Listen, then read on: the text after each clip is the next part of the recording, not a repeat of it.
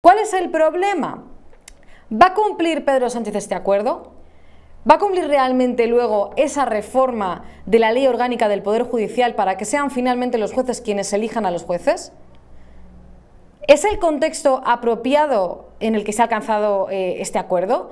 El Partido Popular se ha dedicado a negociar con una formación que está dando en la actualidad un golpe, un golpe de Estado, eh, con un tribunal constitucional que el Partido Popular, recordamos, entregó al Partido Socialista, quiere ahora amnistiar y perdonar los delitos a los condenados por el mayor caso de corrupción que ha habido en la historia de este país, que es el caso eh, de los ERE.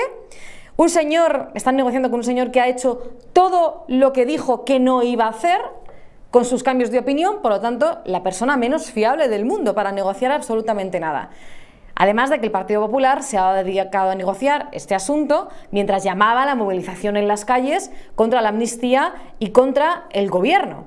Esto es una cosa que ha recordado, por cierto, también hace un rato el presidente de Vox, Santiago Abascal.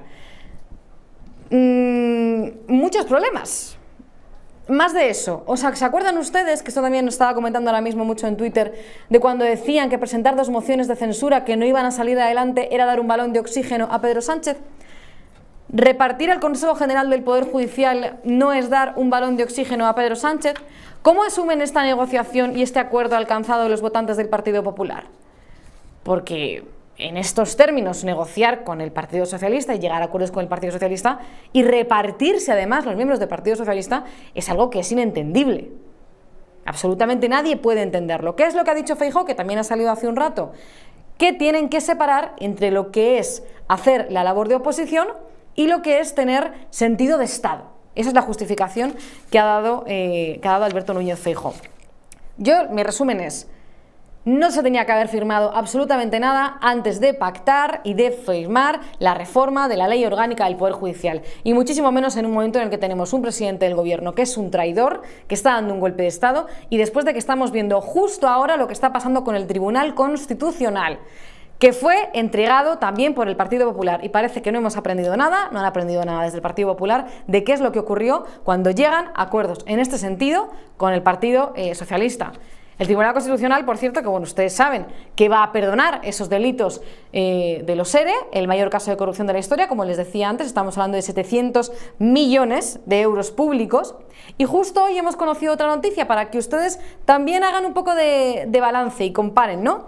Una noticia que ha salido este miércoles, este martes, perdón, es que se ha condenado a un catedrático a casi 10 años de prisión por desviar fondos de una universidad para su lucro personal.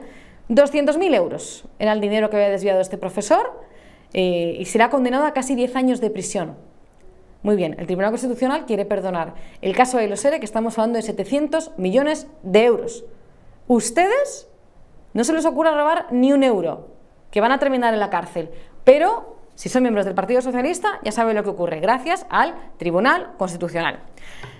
Además, este acuerdo del Consejo General del Poder Judicial, sé que estoy comentando muchas cosas, pero la verdad es que son bastantes cosas las que hay que hablar sobre este asunto, ¿no? Eh, este acuerdo del Consejo General del Poder Judicial se ha firmado en Bruselas. Han visto a esta señora que estaba a espaldas de Félix Bolaños y de, y de González Pons. Esto también implica eh, asumir que cualquier decisión importante que se tenga que tomar en España parece que tiene que cerrarse y explicarse fuera de España, eh, en Bruselas. Y por lo tanto, ¿no legitima esto también a las reuniones que se mantienen con el prófugo Carles Puigdemont precisamente en Bruselas?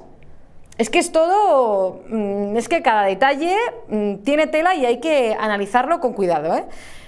¿Qué es lo que dicen? ¿Qué es lo que dicen desde el Partido Popular y también los analistas que están de acuerdo con, este, con esta reforma, con este pacto ¿no? que han alcanzado PP y PSOE? Que lo que podía venir era peor. ¿A qué se refieren? A ese anuncio que hizo Pedro Sánchez de que se quería hacer con el control total de la justicia. Así que lo que están argumentando ahora es que, bueno, este puede ser un mal menor, ¿no? Lo que podía hacer Sánchez a partir de ahora con el Consejo General del Poder Judicial era peor y este reparto puede ser mejor.